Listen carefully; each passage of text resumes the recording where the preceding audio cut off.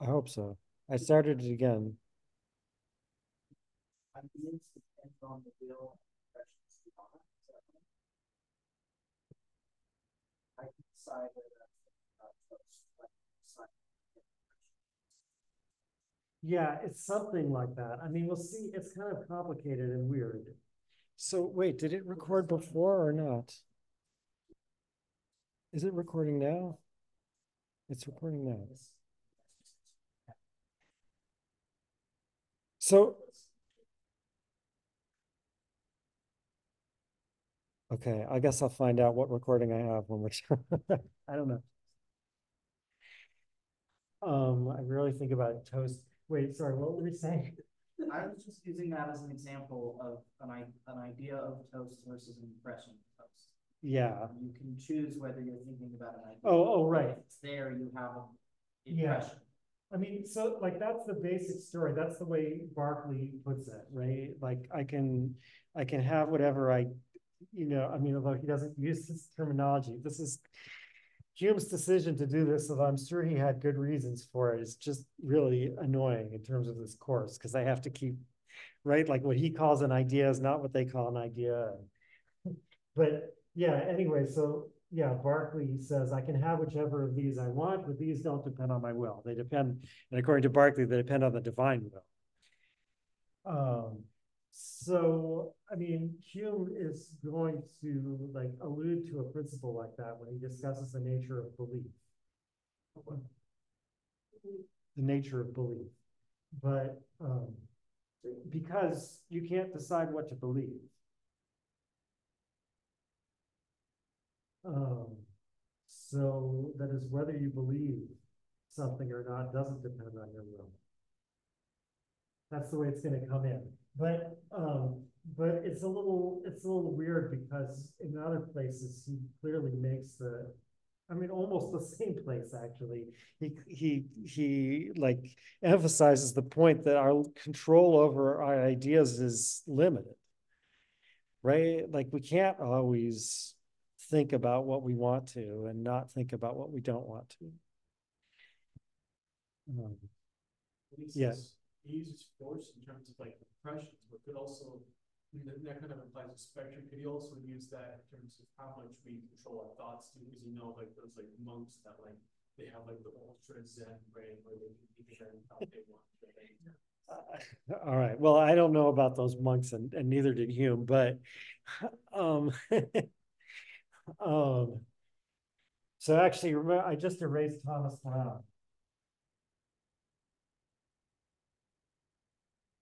One of Thomas Brown's, in, in, in a sense, no, I guess it's not his only big idea, but one of his big ideas that he keeps coming back to is that it doesn't make sense to say that I desire or choose to have a certain idea. Because how would that work? Like, so if I like if I desire to have toast, I first have the idea of toast, and then I use that to guide my actions to make toast. But if I want to have the idea of toast, it seems like I must already have the idea of toast. You Can't have a, you can't, like I said, you can't choose to be ignorant, because if you know something, you first of all, you you can't be ignorant, so the only thing you can choose to be ignorant to are details. Like, you can't, you can't be, the only thing to be ignorant to are details in the sense like, you know there are homeless people, but you don't know how many homeless people there are, right? But like, you don't, there are unknown unknowns, those are the things that you're wholly ignorant to, but the only Yeah. things you can choose to be ignorant to are Well, details and facts. But this is more like, I mean, so on the negative side, it's like, I mean, the famous example is don't think about elephants, right? And as soon as you get that command, you think about an elephant. and you have because that, otherwise I wouldn't understand the command. Anyway, what the answer to that is, a good question. The- Other than Thomas Brown, no one usually agrees with that, but uh, it's not clear what their answer is. Maybe I, The Locke thing, yeah, does having an idea mean that you could think about it or that you are thinking about it right now? but I mean, it, it doesn't matter. It seems like that. to, to, to want toasts, it's not enough to be able to have the idea of toast. You have to have it now. Yeah, exactly. I'm very hungry. I'm sorry, I don't have any toast. I would offer you toast, but I don't have it. All right. Um, so- Um, maybe I should use another example. Um, But- Right, I'm sorry, that, we're, this is not, of course, about Thomas Brown, back to, back to Hume, Hume, so Hume assumes that sometimes, it makes sense somehow. Sometimes we can choose which ideas to have and which not to have, but not always. Sometimes we really don't want to think about something, but the idea keeps coming back, right? So, um, so that's why this is a little bit weird, but. All right, so getting back to impressions and ideas, so the like, so to speak, defining difference is this difference in force and vivacity.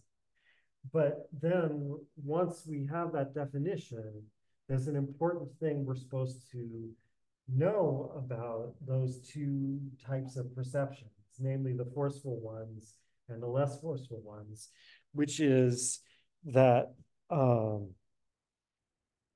um, the impressions, an, an impression always occurs before the corresponding idea. I mean, this is, I mean, it shouldn't be so surprising. It's basically Hume's version of Locke saying that the mind can't make its own simple ideas.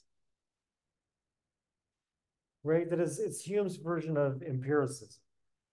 And he's saying that, you know, and again, I think though he doesn't say that straight out there. He has to limit it to the to the simple components, right? That is, you can certainly have an idea of a unicorn, even though you've never had an impression of a unicorn. But you can't have uh, the the idea of the unicorn has to be made up of ideas, which all of which you've previously had similar impressions to. that that that prepositional phrase got kind of trouble, but um, right. So like, uh, um, you know, you can't imagine white unless you've already seen white before. Now, um, how do we know that? So it kind of seems like the evidence is empirical. It kind of seems that way in Locke too, but it's a little weird, right? Since this is supposed to be the doctrine of empiricism. um, but right, so these are the arguments Hume offers. The first one is on page 11. Um, to prove this, the two following arguments will, I hope, be sufficient. First, when we analyze our thoughts or ideas, however compounded or sublime, oh, actually, he does say what I said. He, did- he, the- it has to do with the simple ideas. We always find that they resolve themselves into such simple ideas as were copied from a precedent, feeling, or sentiment. Right, so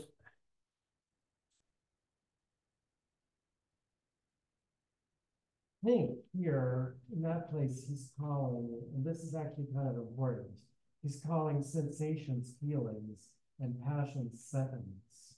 I mean, sentiment is definitely a name for a type of impression. It's, I don't know if it's exactly the same as passions. I think it includes passions. I mean, I mean, we'll see. This is why this is important. We'll see that it's supposed to include belief. Belief is a certain sentiment. So unlike law, Yeah. for Hume, senses can be sources of simple ideas, but so can passions.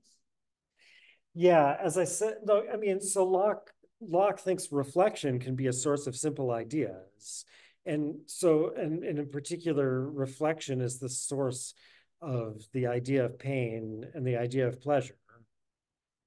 Actually, no, I guess Locke says that pain and pleasure come through both sensation and reflection. Yeah, he usually like the list, the things he had lists as ideas of reflection are besides those ones that come through all modes like pain and pleasure and being and unity is usually things like perception uh you know memory right like all those kind of mental acts.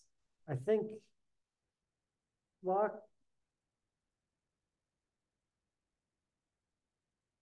I've wondered this about Locke. I think it's not entirely clear whether he thinks there's a special kind of angerness to anger.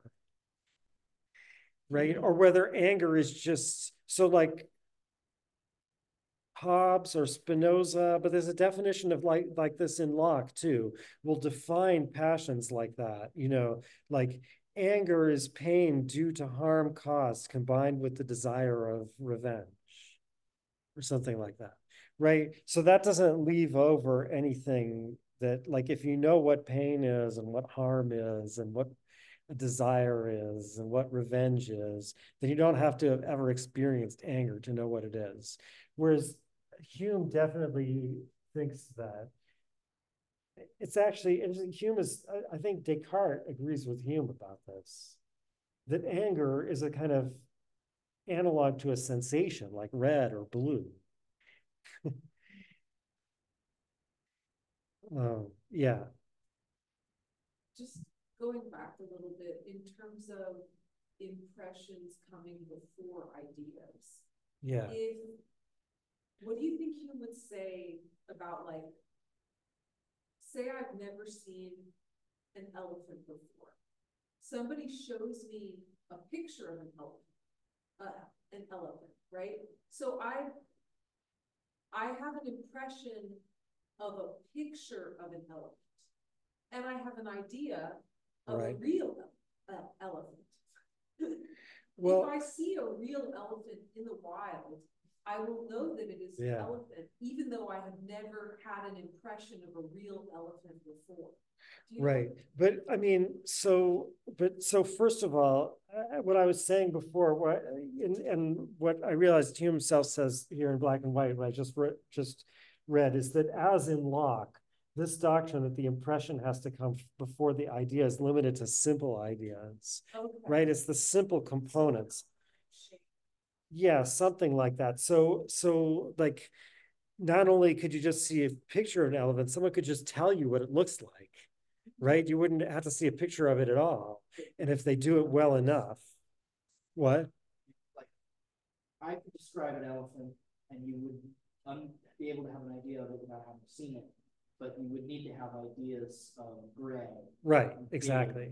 and Right. are the only things you get from sense. And, and, and a picture of an elephant really just works the same way, right? Like, I mean, that is, I, I, I couldn't, sh- I couldn't, um, if you'd never seen red, I couldn't do the same thing and show you a picture of red. And then when you see red, you would recognize it because the picture already would be red, right? Like a picture of, showing you a picture of red is showing you red. It's- if- if The picture of the elephant is like, it's, there's no real elephant there. It's a terrible picture of an elephant. But You don't have to draw. anyway, the, Well, that's a good picture. it's better. So the, the picture, it's more like an hand. I don't know, but the, the picture of the elephant, there's no real elephant there, but there's real gray. Yeah, right? And that's what's giving you the idea. So, I mean, so if you've never seen gray before, I couldn't tell you what an elephant looks like, but I could show you a picture. And now you would have seen gray and you, would, right? So, Right, so the, the, the, the picture really works on the same principle. shows you some, some of the simple ideas and you use them to form the compound idea. Um, um, so that's Hume's first argument for it. That sounds empirical, right? So it's, I mean, we, he says we always find, but that use of the present, the simple present tense is tricky in English. Like, what does that mean? So in this case, I think we always find means so far we've always found. right? Like it, right? So uh um there's so that sounds empirical, like we could someday notice an exception. And then the second argument is um this is on page 12. Um if it happened from a defect of the organ that a man is not susceptible of any species of sensation, we always find that he is as little susceptible of the correspondent ideas. And then he goes on to also discuss how a Laplander or Negro has no notion of the relish of wine.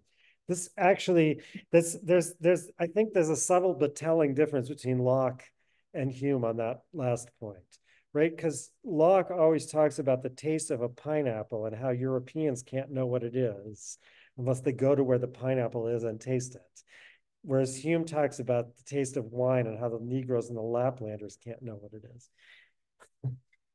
um, maybe a coincidence, but it,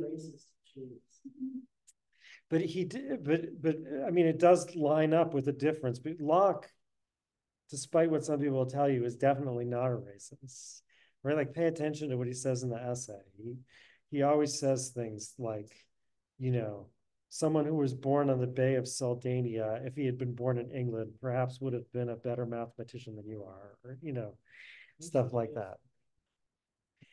Bay of Sardinia, I think, is in South Africa. If I'm not confusing it with another example he uses. Anyway, it doesn't matter. Um, so uh, that that really doesn't matter. but, oh, not not Sudan, Sardinia. Yeah, yeah. All right. Okay, but anyway, leaving aside the Laplands and the like, I mean, how do we know this? So first of all, this seems empirical, but what is even the empirical evidence? I mean, I guess the only evidence would be someone who lacked the sense and then got it. And then you ask them, oh, did you ever have an idea of this before? And they said no. But that's a very limited amount of evidence, if any. I guess, like, yeah, you could get a Laplander and a Negro and give them wine, which of course is what Europeans were very much in the habit of doing. But and then say, "Oh, did you ever have an idea of this before?" But I'm not sure how many how often that experiment was carried out either. I mean, it's it's. Uh... it's true that the blind have no ideas. Like compared blind people describe that they have cultural associations with the concept of it. Right? Oh yeah, but that I mean, so so first of all, Locke tells the story. I'm spending too much time on this, but oh well. what? That's not a mosquito. No. It's another. Yeah, I've seen those before. All right. Um, um, Locke tells the story of a blind man he knew who was very learned it and spent years trying to figure out what the color red was. And he finally came to him and said, or what scarlet was actually, I guess, or I guess maybe what colors were in general, but his discovery was about scarlet. So he comes, he, he's, you know, he comes very excited and he says, I know, now I know what scarlet is. And he said, what is it? And he said, well, it's like the sound of a trumpet. So there, I mean, you might, so Locke is just like, well, this is obviously ridiculous, right? Like a color isn't like a sound. But I mean, I don't know. The blind guy did understand something about scarlet. It is kind of like the sound of a trumpet, right? So, I mean, uh, um, What's the name of that disorder? Um, Synesthesia. Synesthesia. It's not necessarily a disorder, but it's just a weird thing. Yeah. I mean, I guess maybe if it totally got out of hand, it would be disorder. But yeah, like some people, I mean, but I feel like we all do that to some extent, or at least I know I do to, to slight extent, you know, like the different days of the week kind of have different colors. I couldn't say exactly what they are, but Well, yeah. Everybody in high school has strong opinions about what color. Yeah, like So, English is blue. yeah, and math is red and science is green. Yes. really, And, not- and we- I wouldn't have said people that. Generally agree on this. huh? I would totally have said math was blue, but anyway, never mind that. Do you like math? Um, pretty much. Yeah, there you go. That's why you think it's. All right. Well, so, so, so it's hard to know where to draw the line between analogies and associations and, you know, and actually like understanding something there. I, I, I don't know, anyway, uh. But I mean, if it's merely an association, then of course Hume can agree that they have that, right? Like if they know red means danger or stop or something like that. Yeah, that, so that doesn't involve having the idea of red in the sense that Hume means idea. Right? It's just not just anything true you can say about red or something like that. It has to be a fainter copy of the impression that you get when you see something red. And again, fainter in this weird sense, right? Less efficacious. um,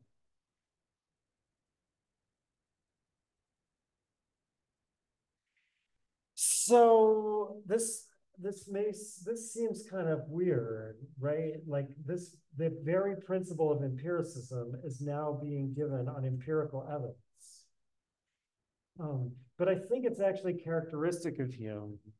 I mean, again, it has to do with that thing about that you can only carry reasoning and justification so far. Um, that he's not claiming that he can start from first principles that no one could doubt. And and base empiricism on that. It kind of just like all goes together. Um although i have to say the weirdest thing about this is that there's one counterexample that hume considers right right after he discusses the evidence for this right this being that impressions always precede the corresponding ideas he says but here's a counterexample. And then it turns out that the counterexample is a thought experiment. It's not empirical at all. Right the, th- the counterexample is like suppose someone has been brought up and has seen every shade of blue except one and now you show them, and he says, by the way, that there, you know, there have to be kind of like least differences in shade. This is exactly similar to what he's going to say about space, that it has to have smallest parts. Um, but if, I mean, but in a case where a lot of the arguments he makes about space might not work. So it might show some kind of like deeper reasons why he thinks there can't be a continuum. Anyway, so, but he says, so, you know, there's like, basically there's a finite number of shades of blue. And you could have seen all of them except this. And then I can show you, um, like, a spectrum of shades of blue. By shades here, I think he means what we call a hue now. Ray, it's like the, the, the variable that changes as you go from blue to green to yellow. Right. So we're going from like greenish blue to um, purplish blue, yeah. So you're talking from But- science to history. So, so we leave one out. And, um, and he says that, first of all, the, this person would have to notice, we don't actually put a gap here put them all together, right? So suppose there were only shade, three shades of, no, suppose there were only four shades of blue, and they've seen one, two, and four, but not three. So we show them this picture, and Hume says, well, they're to notice that there's a bigger change between these two than there is between these two. And then he says, and then, then the question is, do we think that they can get an idea of the missing that they've never seen. And he says, I think there are a few who will doubt that they could. Well, what if you argue, okay, so he's treating colors as simple ideas. Yeah. What if, I don't know, maybe this isn't productive. What, what, what if you have simple, I mean, you have simple ideas of the primates, and you can make, so, so my idea of blue-green is not a simple idea. It's mixing together simple ideas of blue and green, which is what I would be doing here. Yeah. But then there's also like, you know, different ideas about primary colors. Is it dependent on, anyways, like, you could just go all the way down. I think arguably any system that understands primary colors. Yeah, as long as works you, For purposes of assembling from simple ideas, right? yeah, Whether it's cyan. Yeah. Cyan. Red, blue, yellow, and I forget what the other one is, cyan, magenta, green, cyan, magenta, yellow. Yeah. something Yeah.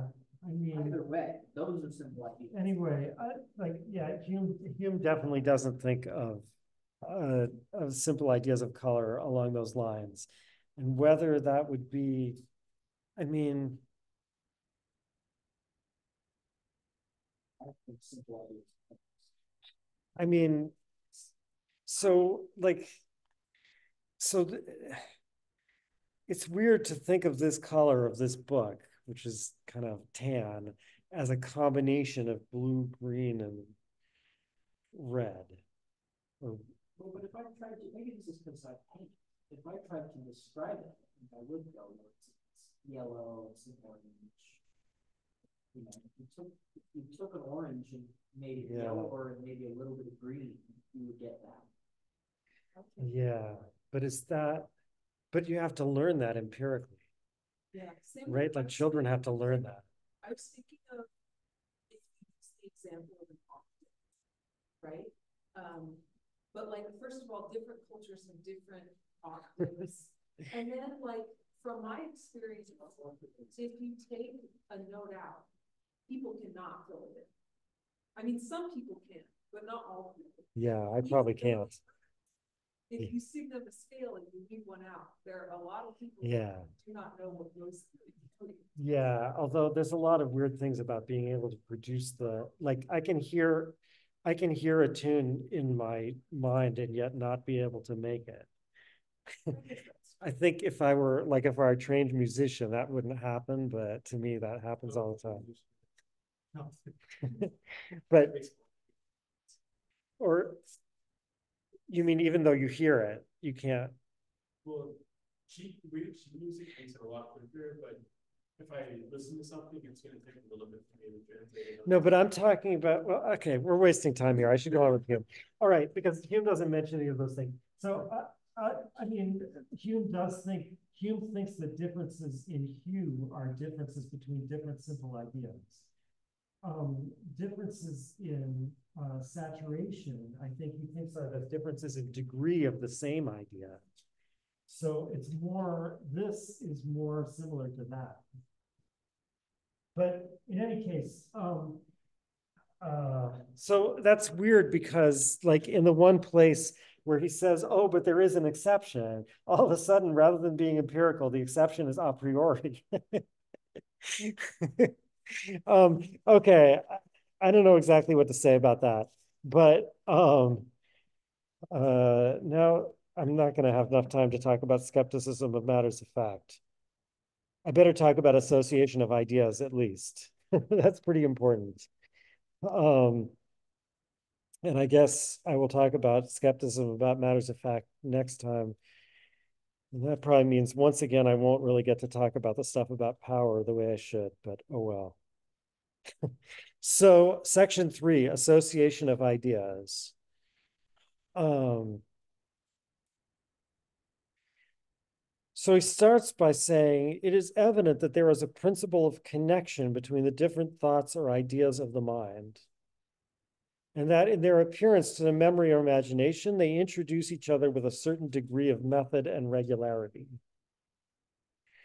Now, I mean, note at this point, there's no distinction between correct and incorrect order, the way we saw in Locke. Um, any reason that one idea comes after another counts as regularity. Right? Any pattern. Um,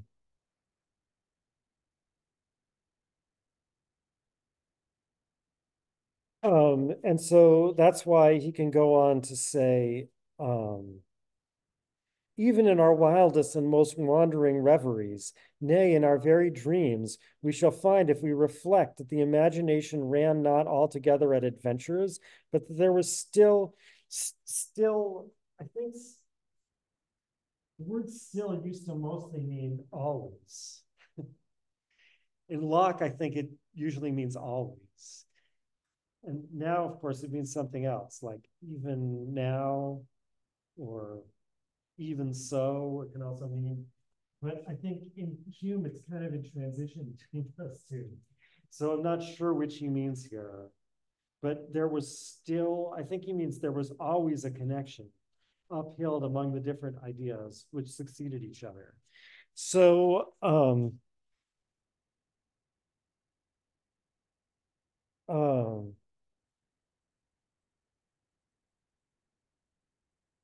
right, so the kind of connection there is between ideas in a dream counts as regularity for these purposes. One thing's I suggested enough, basically. Something like that. I mean, leaving aside, you know, like Freudian theories or whatever that he didn't know about. um, um, so we'll see actually, you know, I mean, this actually goes, has something to do with this point here, regularity. Regu we'll, we'll see actually that in the treatise, Hume, um, sorry, um, that in the treatise, uh, Hume does draw a distinction between the regular or reasonable order of ideas in empirical thought versus an irregular and unreasonable order. So, I mean, it's not like he doesn't recognize that distinction, but when he says that all our ideas are connected by a certain principle, he's he's not thinking about that distinction one way or the other. Um,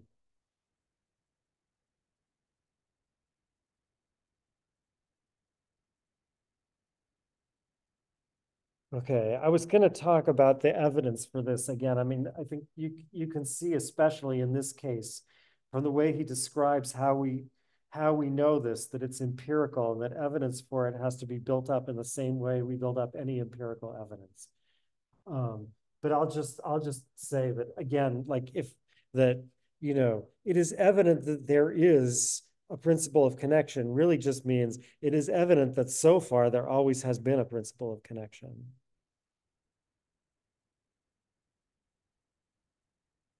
If you were to ask, what would it be like for the principle of connection to end? And there'd be no principle of connection. How could we experience that? Um, in a, in a sense, that's that's that's like part of the way to Kant's transcendental deduction. but never mind that. So actually, maybe I do have, if I skip that stuff, I do have a little bit of time to talk about skepticism about matters of fact. So the skeptical doubts that he raises here in the first inquiry are skeptical doubts about matters of fact um, beyond the present testimony of our senses or the records of our memory. Um, so, so there's there's two big things here that are being exempted from the doubt. I mean, first of all, there's the distinction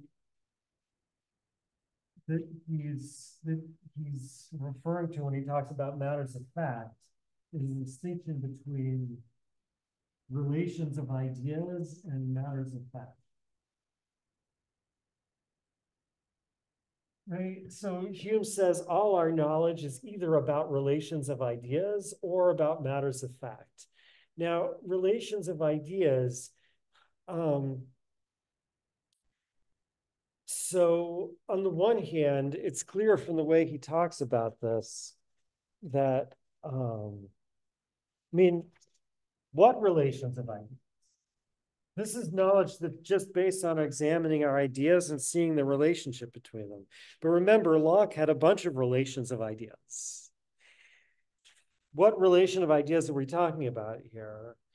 So he doesn't say here uh, when he introduces this distinction, but I, it becomes clear from what he says later that uh, um, this is always about what Kant would call analytic truths. That is, the relation between ideas we're talking about here is basically identity and difference. The, I, the ideas are, you know, like related to each other either in the sense that one of them contains the other or in the sense that one of them contradicts the other. Right, so like on page twenty-two, in the second part of section four, he says, um, when he's trying to to show that that that we don't know how do we know that the future will be like the past basically? And he says it's evident that there are no demonstrative arguments in the case because it implies no contradiction that the course of nature may change right? So in order for it to be demonstrative, that is based on relations of ideas, the opposite of it would have to involve a contradiction.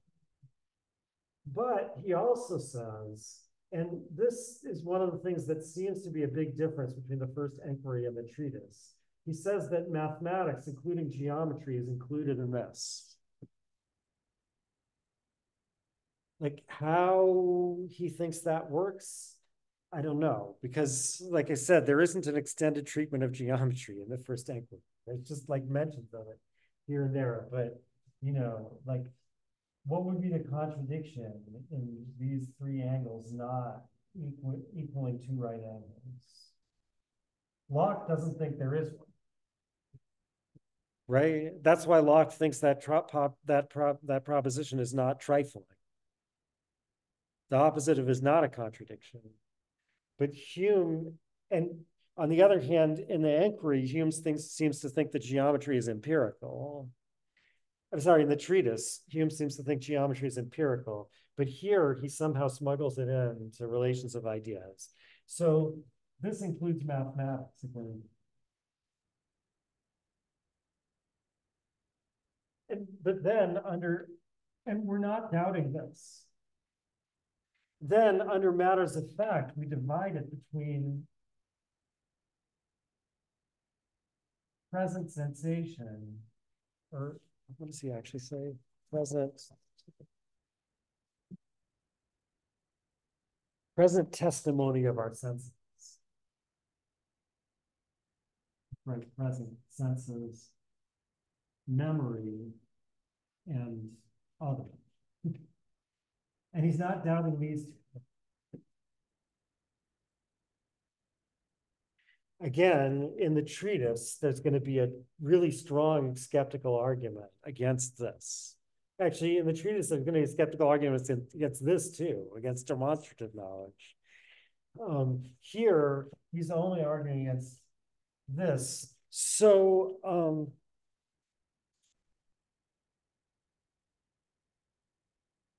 So that means he's giving us almost every kind of knowledge that Locke says we have. right? Like knowledge as opposed to judgment or opinion. Locke says we have in the case of mathematics, and we have in the case of present senses and our memory. So, what are the other things? So, I mean, one thing might be morality, which and which in Locke is also connected to proving the existence of God. Right? He doesn't Hume doesn't mention that one way or another here. But Locke's morality is Locke says that it's demonstrative like mathematics, but that it's not trifling, it's substantial. So we don't know at this point where Hume would put the kind of truth that Locke classifies as moral, which may not be the same as the kind of thing that Hume uh, classifies as moral.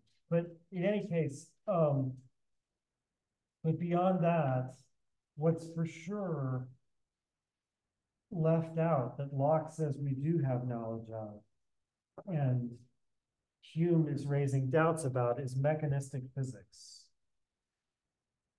And that's therefore that's the example he keeps talking about, right? Like um uh Or, I mean, that's the hard example. Right? Like some, like Hume's other examples, like um, bread has always been nourishing in the past. But, oh, I'm sorry, you're hungry. I'm talking about bread again, but, all right. Bread, bread has always been nourishing in the past, but why think that this thing that looks and feels like bread will also be nourishing? Right? And I mean, Locke would also say, yeah, that's, we don't know that.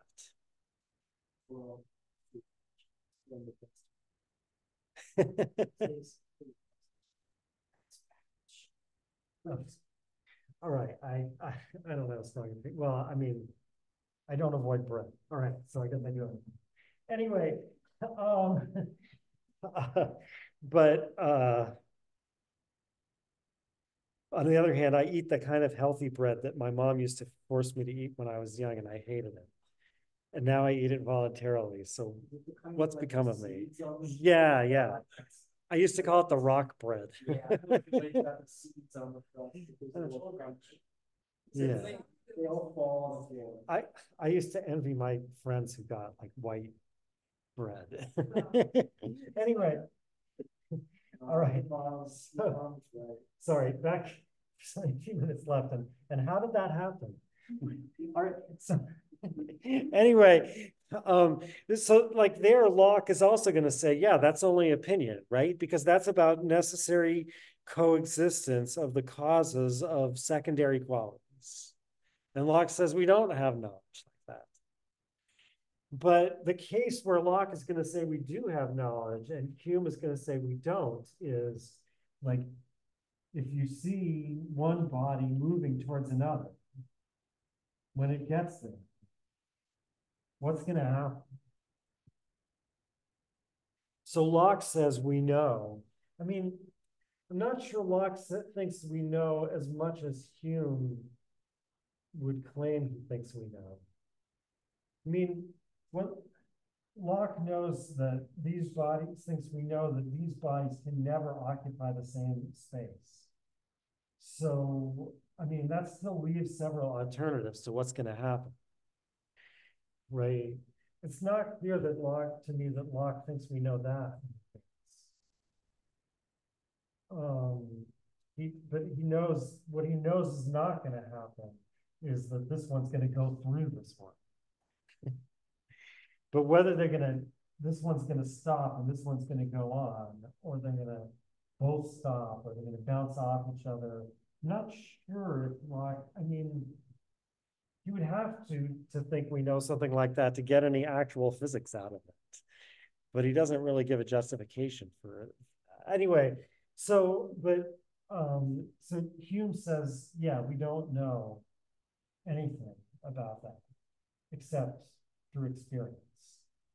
Um, and, um, well, maybe I shouldn't start with that, but I should say, I should just say, this is included in the matters of fact that that Hume is gonna make, gonna raise skeptical doubts about.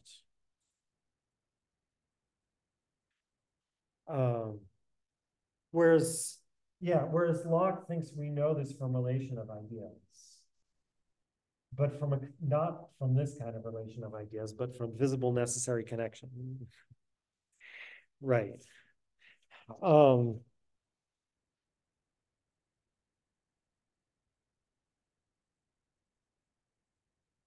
Do I have time to say anything about what the argument is?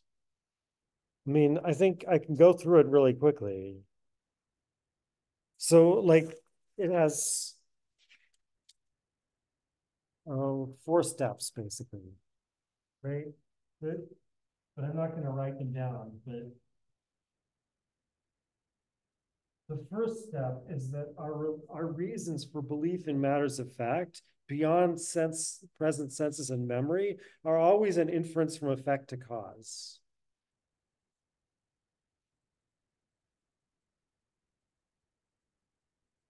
Um, so like this comes from inference from effect to cause. You might think it should be inference from cause to effect, but I don't have time to talk about why it's inference from to cause. Maybe I'll talk about that next time. Um, then he says, so therefore, this presupposes a connection. So this presupposes a connection between effect and cause.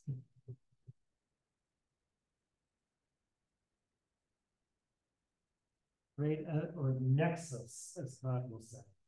Re, like a, I guess a nexus literally is a, no, is it a knot or is it a? Should know that. Anyway, they're, the- yeah, they're like tied together. Um, and then number three is, this is discovered only by experience. We only discover connections between, Causes and effects by experience. That's on page, these are all almost on the same page. The first one was page sixteen, the second is on page sixteen, the third one is on page seventeen. so this is. I, I'll, I, I'm gonna have to go through this in more detail next time. So, right, so we only discover these by ex- experience. That's again where he discusses this hard case where you might think we know in advance of experience. That one body will push the other. Um. And then finally. Um. Uh.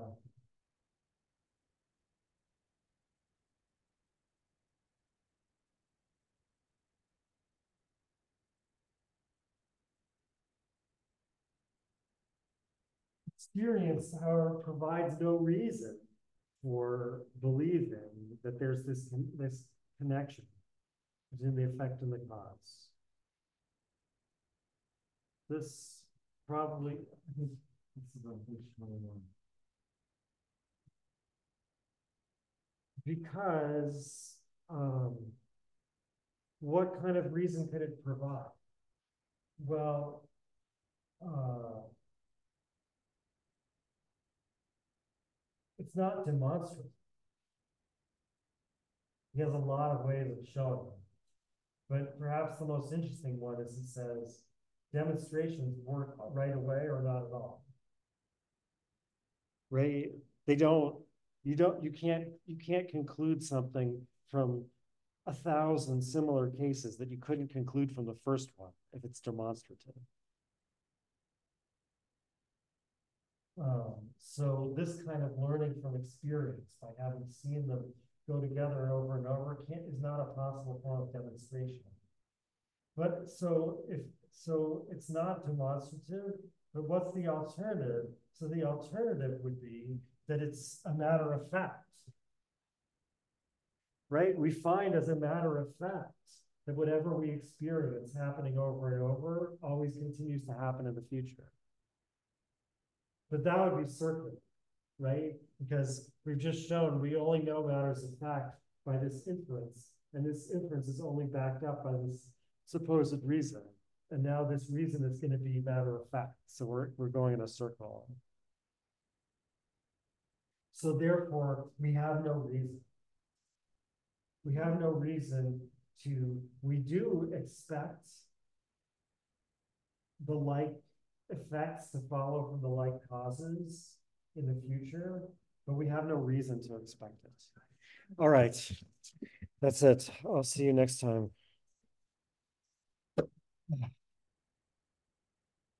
Thank you. Uh,